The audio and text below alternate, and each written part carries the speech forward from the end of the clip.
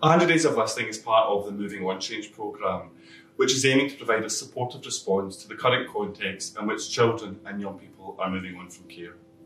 The most important thing that the Independent Care Review did was to listen. The Moving On Change programme recognises the importance of listening and will use the 100 days of listening to ensure that moving on experts, whether they are part of the paid or unpaid workforce or have experience of care, have a voice. These experts hold the knowledge that is required for Scotland to deliver upon the vision set out within the promise. This is an open invitation to everybody and anybody who would wish to contribute to the 100 days of listening. We really want to hear from you. If you'd like to get involved, complete the form at staf.scot or get in touch directly with the team by emailing listening at staf.scot.